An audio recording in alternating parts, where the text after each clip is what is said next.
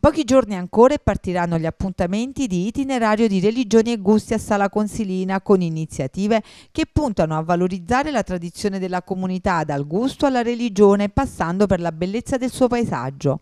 L'amministrazione comunale guidata dal sindaco Francesco Cavallone avvalendosi della collaborazione dell'organizzazione della società operaia di mutuo soccorso Torquato Tasso presieduta da Michele Calandriello ha dato vita ad una serie di appuntamenti che arricchiranno questo mese di settembre partendo partendo dal fine settimana del 17 e 18 settembre, nel corso del quale prodotti tipici della tradizione locale, unitamente al centro storico di Sala Consilina, saranno protagonisti della due giorni di incontri enogastronomici con la possibilità di degustare numerose specialità culinarie autunnali e conoscere le attività artigianali locali e i loro prodotti.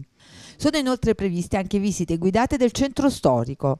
L'arte pittorica sarà protagonista invece a Sala Consilina a partire dal 24 settembre con il concorso di pittura sul tema A Sala, il tempo, lo spazio, il colore.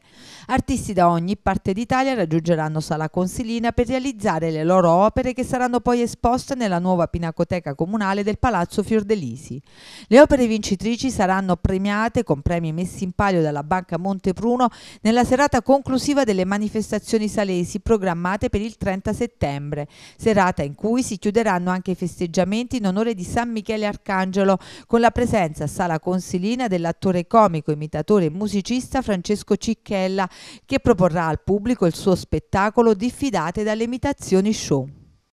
Sala ha una tradizione di produzione di prodotti gastronomici che secolare. Cerchiamo di valorizzare quelli che sono i prodotti di questo periodo, del periodo di settembre in questa, in questa rassegna gastronomica, che sarà ambientata nel centro di Sala e sarà accompagnata da validi esponenti della cucina e validi esponenti del volontariato. Ci saranno anche degli stand di operatori eh, diciamo di tipo artigianale per valorizzare i loro prodotti, perché Sala e anche il territorio hanno del, dei prodotti che sono rinomati in tutto il mondo e noi cercheremo di farli valorizzare e di farli conoscere ancora meglio. Chi verrà per la prima volta a Sala o chi c'è stato e non conosce bene il centro storico di Sala, faremo dei gruppi accompagnati da volontari nostri che gli faranno visitare i luoghi più interessanti. Questo concorso di pittura ha già una storia a Sala perché è stato fatto anche negli anni precedenti. Il tema della del concorso è il tempo, lo spazio e il colore, praticamente tutto quello che è possibile vedere intorno a noi. Sala ha un ricco patrimonio artistico, un ricco patrimonio culturale.